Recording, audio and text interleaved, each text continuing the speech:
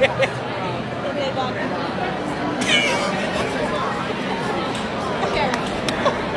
right, we'll do. uh What are the biggest steers you have?